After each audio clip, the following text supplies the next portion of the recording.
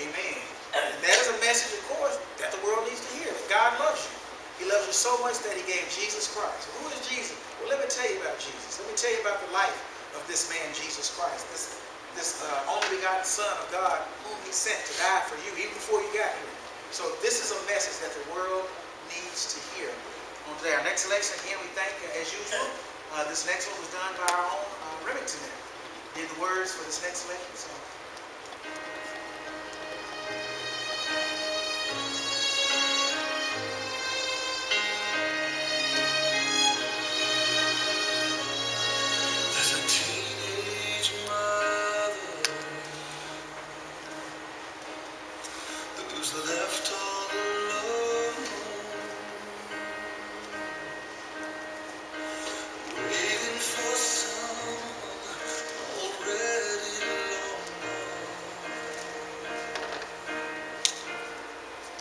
gone.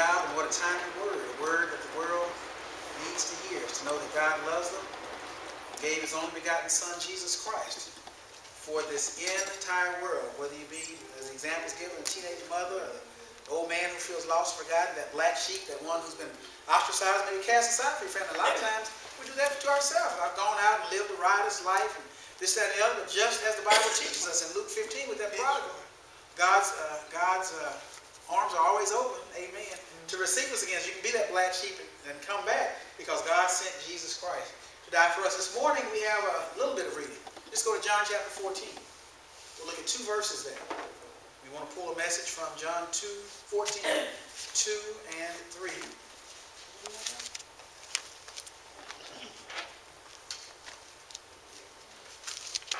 We just had one of these scriptures uh, as a scripture of reference for one of our selections on this morning.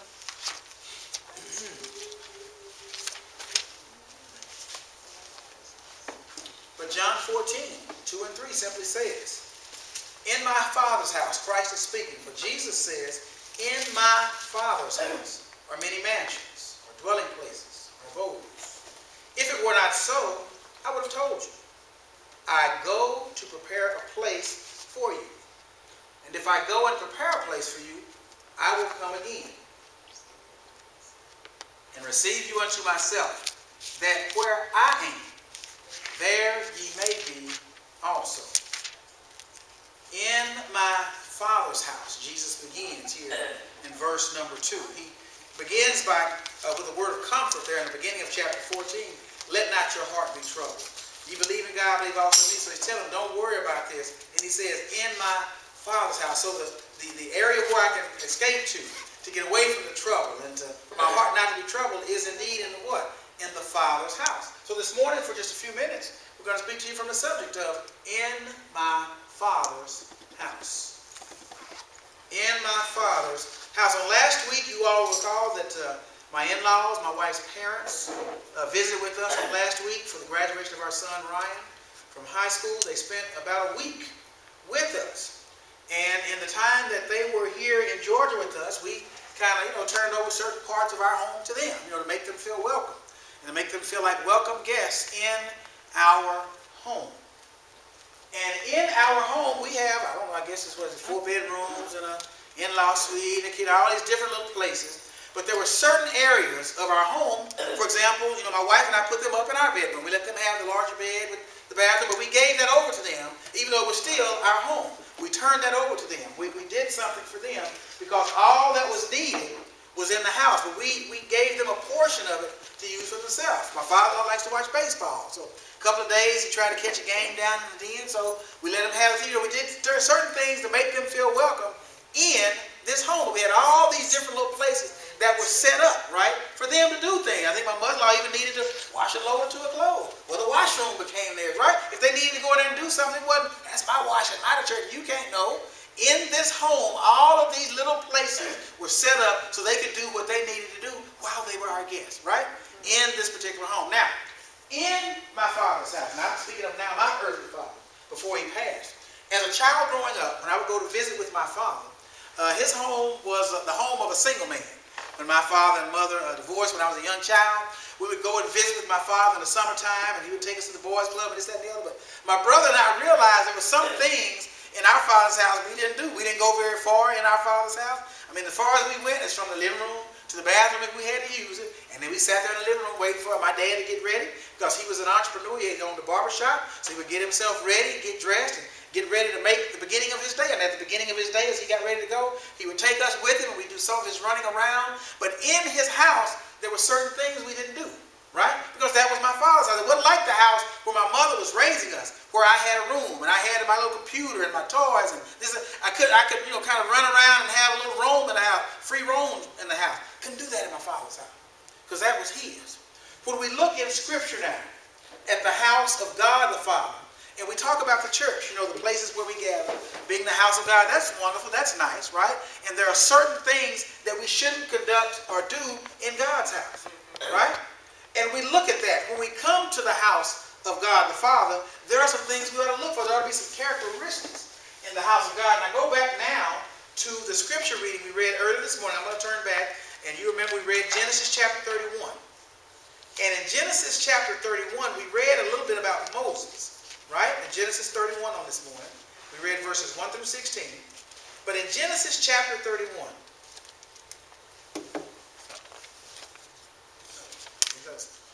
Act, but in Genesis 31, excuse me, I'm sorry, wrong reference. Genesis chapter 31, we talk about uh, the two sisters there, Rachel and Leah, I'm sorry, and their father Laban. And in Genesis 31 and 14, Rachel and Leah answered, they're answering uh, their husbands by saying, Is there yet any portion or inheritance for us in our father's house? Are we not counted of him strangers? For he hath sold us and hath quite devoured also our money. they look here and realize that as a father and as the children of a father, there is an inheritance. There is something in the father's home that they should be welcome to have. But they look here at this particular father and says, what? He's wasted. He spent it up. You know, he treats us like we're what? Strangers or outsiders. Well, that's not the way you and I are treated, and that we're not going to be treated in God's house. Because remember now, Jesus is speaking to his disciples right after Peter's denial is foretold in John chapter 13. Jesus begins John chapter 14, verse 1, let not your heart be troubled. He's saying, calm down, fellas. It's going to be all right. Why? For in my Father's house, there are many mansions. There are many dwelling places.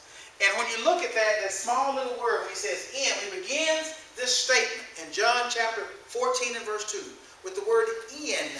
That word in in the Greek denotes being within. It denotes, it denotes, uh, it denotes abiding and dwelling. When he says that in my Father, it talks about once you get there, we will be there forever. It's not like we're passing through. You know, God's house isn't like a Motel 6 or a Holiday Inn, y'all. We don't just check in and, okay, when it's time to go, we leave.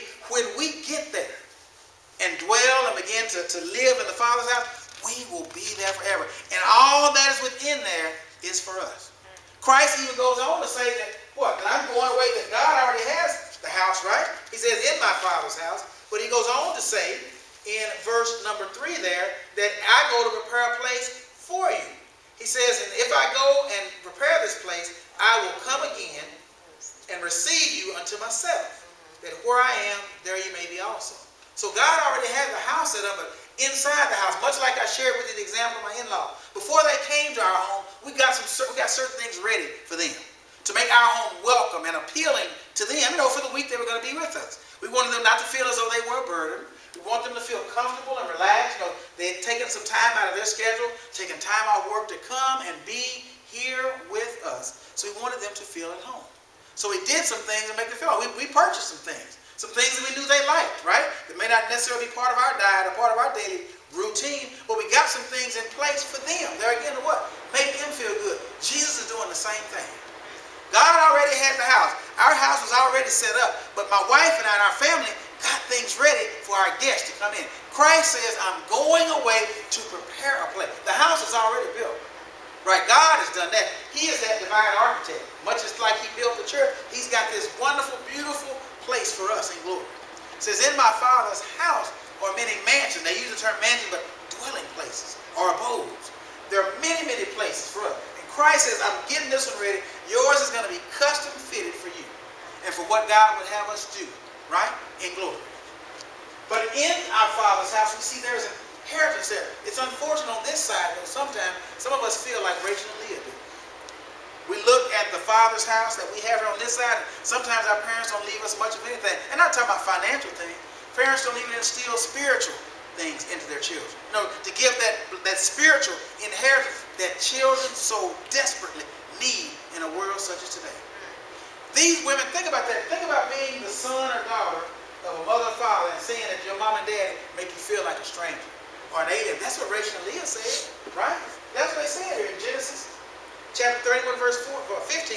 He says, Are we not counted of him strangers? Wait a minute. Strange, you mean you done grew up in this man's house and being women, you know, dad and the brothers would have taken care of them as well, right? Being women, you know, being that weaker vessel and looking at the times they lived in back then, there were certain things women just didn't do. The men did a whole lot more stuff, right? Women had a role, men had a role. But now they say they feel like strangers in their father's house. Isn't that unfortunate? Do we do that to people today? Do we have folks come to meet with us here and, you know, our representation of God's house on this side? Do we make folks feel like strangers or aliens sometimes? You know, those that ought to be of the family of God, do we sometimes maybe, I don't know what it is that caused us to do this, but we see with Laban's case, it was greed, right? He wanted this, he wanted this, I'm to keep working him again. He wanted this and wanted it. He changed, the man said, he changed my wages, what? Ten times. Do we get folks in the church? Because this is God's house, right? The divine architect we talk about in the New Testament doctrine of the church, right? We talk about that divine architect. Do we get folks into God's house and then we start heaping things on and changing? Well, brother, that's what I told you first, but see, now you need to. Well, see, you got to add this to, and we keep adding and changing to where they feel like, man, I don't feel like I'm a part of this family.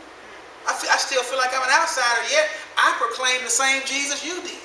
Right? I believe, just like the song just said, that God so loved the world that gave. I believe in that, but you treat, treat me like I'm still an outsider. And I'm supposed to be your brother or sister in Christ. These two young ladies said, we have been counted as strangers. Jesus says, in my Father's house. So being in the Father's house, there's something else we can expect. In our New Testament scripture passage, we read from the book of Acts, remember? And we talked about Moses in his young life.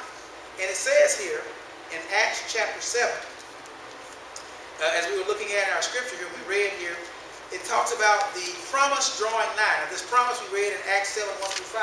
God had made a promise to Abraham. And as the promise got closer, it says the people grew and multiplied in Egypt. Another king arose that didn't know Joseph. He didn't realize anything that had gone on before. And he dealt, excuse me, he dealt treacherously with the children of Israel. And it says during this time, right, Moses was born, and he was exceeding fair, verse 20 says. He was well pleasing to God and nourished up in his father's house for three months. In the father's house, there's nourishment. What we need to grow should be in our father's house. As a father, I pray that I provide that for my children. What they need. I'm not just talking about cereal and milk and a nice warm meal and sandwiches and potato chips. I'm talking about what they need to grow spiritually. The spiritual nourishment is what should be done in the Father's house. It should be there for those children. The same is true with us in the house of God. There should be spiritual nourishment. It says, no, Moses was only there three months, but he was nourished in his father's house. His father had something to give him. And it was the nourishment that this child required. Our Father, our Heavenly Father, has all we need in glory. Christ has gone ahead now even to prepare this place for us. But here on earth, before we get there, we as fathers, on this side, and as men folk, have a job and responsibility to do to nourish, to have an inheritance, to impart something to those who are in the Father's house and not make them feel like strangers. Jesus says, look at what he does here. He's sending this message as a word of comfort. Let not your heart be troubled. Right? He says in chapter 14, verse number 1, when he talks to the people here, let not your heart be troubled. You believe in God, believe also in me, in my Father's house. Right? Because Jesus says that before, he just got through telling Peter that you were going to deny him, that he was going to deny me. And he says, will you lay down your life with me for my sake? He says, Verily, verily, I say unto you, in chapter 13, verse 38, the cock shall not crow till thou hast denied me thrice. Now this is Peter, the outspoken, you know, one of the, the leaders in the group here. And if, man, this, he's what? He going to do what? But Jesus look, let not your heart be troubled. Don't worry about that. For in my Father's house, or many men say, if you believe in God, believe also in me. If you believe in God the Father, Jesus says, it requires that you believe in me as well, because I am his son the, the, the key that you and I have, the access we have to the Father's house comes through the Son, Christ Jesus, who's gone away to prepare this place for us. We can't get to God, you all, and skip over Jesus. I, I can't just skip my way into the Father's house without going through the Son. You can't come into our home, or the home where we live, without coming through the door. If you come in any other way, you're a robber, you're a thief, you're, you're a ne'er-do-well. You're not welcome. Don't come climb through a window. Don't come through this. Don't come through that. If you're going to come, come ring the doorbell. Come knock on the door and let us open the door and let you in. But Jesus says, let not your heart be troubled. You believe in God, believe also in me. Why? For in my Father's house are many mansions, or many dwelling, dwelling places. And he says, if it were not so, I would have told you. There's truth in the Father's house. Jesus said, if it wasn't so, I would have told you. He said, I'm not lying to you. There shouldn't be any treachery as the Egyptians dealt with the children of Israel. Shouldn't be any treacherous dealings with those of us who are in the Father's house. Shouldn't be any trickery and trying to trying to do some smoke and mirrors and trip folks up. But Jesus said, if it were not so, I would have told you. There should be truth there. Right? The nourishment that we talk about, Moses receiving nourishment in his father's house. What we give and what we feed our children and those who come to the Father's house ought to be those things of truth. It shouldn't be hearsay and speculation. And what's the, the hot thing or the end thing this month or today? It Shouldn't be that. It should be the truth contained in the Word of God. Jesus said, look, if it wasn't so, I would not do it. But he says, now I go and prepare a place for you. And he says, and I will come again and receive him to myself. See, it does us no good to make all these preparations and then have no one to come in there and take part. God has a house, right, set up for tonight. Christ goes to make preparation, and then he comes to receive us and bring us in. It would have been kind of sad for us. We've been looking forward to my in-laws coming last week. It would have been kind of unfortunate if all of a sudden something changed they couldn't come. We know things come up, but we had made preparation. You know, I'd, I'd taken off some time from work and to make myself available to them and to be around this, and other. Would have been unfortunate to do all these preparations. And it's like, oh, wait a minute.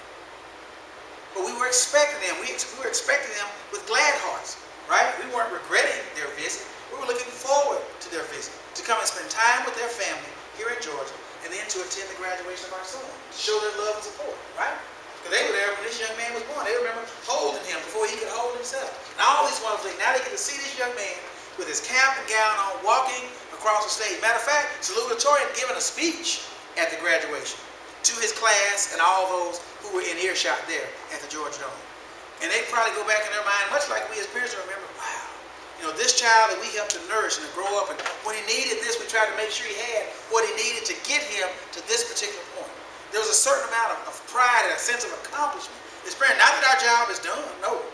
We don't see that our job is done, but we're glad and we can say that, man, this is a product. This is something that came through the house God blessed us to have. Whether it was the house we started at in Texas or where God has blessed us to be here in Georgia. But prayerfully, that foundation not only be for this child, but for the other three children in our home as well.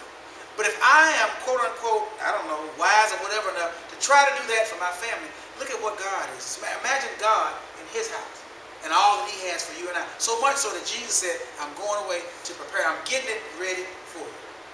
Whatever needs to be made ready in my Father's house, Jesus says, I'm going to have it ready for you. When we look again at our place and position in the Father's house, we talk about inheritance being there, truth being in the house of the Father, the nourishment that you and I would need to live productive and fruitful Christian lives being in the Father's house and in his care. And remember now, we have access to it. Our key is through Christ Jesus. I'm going to read a passage of scripture to you now. I'm going to turn to Isaiah and I'm going to read a portion of Isaiah chapter 22. And we look at the key to the house of David here. Isaiah chapter 22.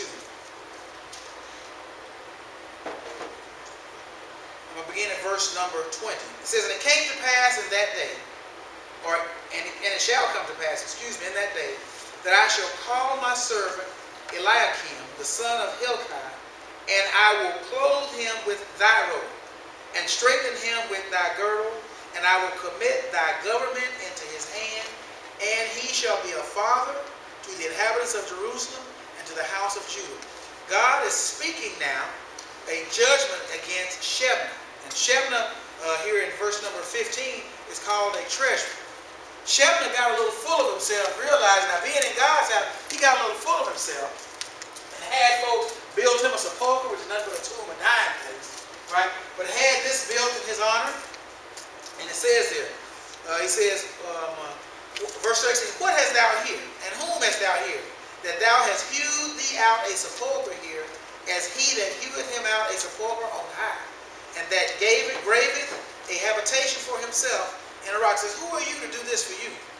You know, you're the treasure. You're supposed to be serving me. But God says, Who are you to do this for you? And he goes against it and speaks a judgment and says, This is going to be taken away from you, and I'm going to raise up this person, who will be a father to the inhabitants of Jerusalem, to the house of Judah, and the key, verse 22, to the house of David. Will I lay upon his shoulder, so he shall open, and none shall shut. and he shall shut, and none shall open. Now he's speaking about Eliakim here, but doesn't that sound also like Jesus? About the access and the key that God is giving Jesus, right? Because Jesus said whatever he loose, whatever he told the disciples, whatever they would loose on earth would be loose in heaven. But God gave Jesus Christ the authority to do some things here on earth. And those things that Christ set up, all those that God gave him belong to him. Christ opened the door, you all, to that house, to that father's house we talked about in 14 and 2. Christ is the key. Part of that Davidic line, he opened the door so that you and I have access. Because he goes on here in John 14. And round around verse number, I believe it's verse number 6, when he talks about being the way, the truth, and the life, he's the access. He's the key. Now here we show a picture of Christ Jesus, and you can see it in Isaiah. It says, he shall, it says, number one, the key of the house of David shall lay upon his shoulder. Sounds almost like that government being among his shoulders Isaiah talked to us about, about Jesus. So he shall open, none shall shut. He shall shut, none shall open. And I will fasten him as a nail in a sure place.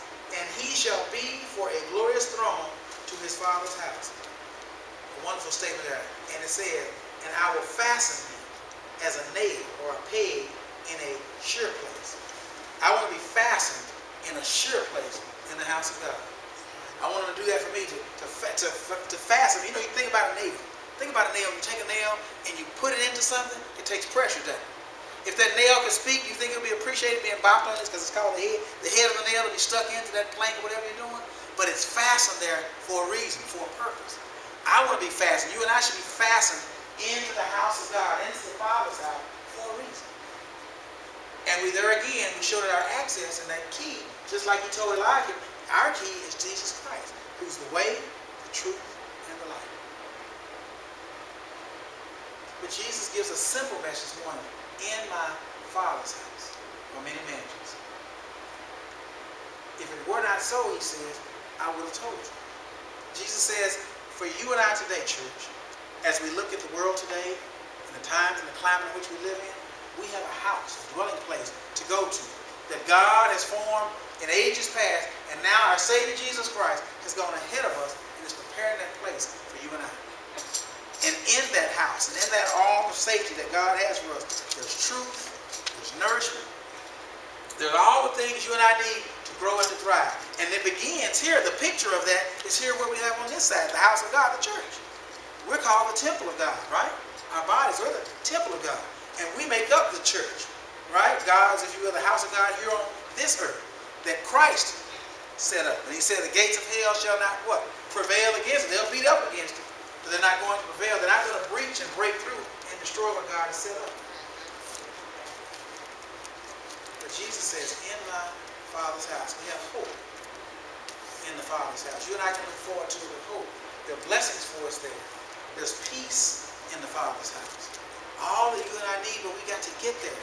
And the way we get there is through Christ Jesus. And as the song we sang right before the message, what the world needs to hear, the world needs to hear that message about a Savior, Jesus Christ, who is the way, who is the truth, who is the light, who can give them access. They may not have a home on this earth.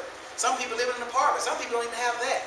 Some people live in the woods over here off of uh, Flint River, up off Jonesboro. You know, don't have a home. Some people under the bridges there in Atlanta, down on, off Central and Memorial Drive. They don't have a home. But guess what? They can have a home in Jesus. Because what we have here is fleeting anyway. But they can have a home because Jesus is in my Father's house. There's plenty of room for me as well as for you.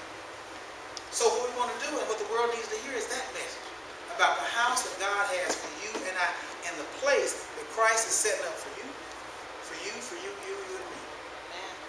And that's what he has for us. And Jesus offers this as words of comfort here now. Because he says, let not your heart be troubled. We need to tell the world, don't worry about what you see today. What's going to happen in November? What's going to happen tomorrow? What's going to happen next Friday? It's not about it. Let not your heart be troubled. Right? We understand that we will have trouble, but our heart shouldn't be troubled. Not those of us who are disciples of Christ. Our heart shouldn't be troubled with the cares and burden down the cares of this world. Why? Because we have a home on high. Our Father's house. Right? Because Jesus is in my Father. Well, God is also what? He's my Father. Because I accepted His Son, Jesus Christ, as my Savior. So God is my Father. well. So I can say in my Father's house, there are many mansions, many dwelling places.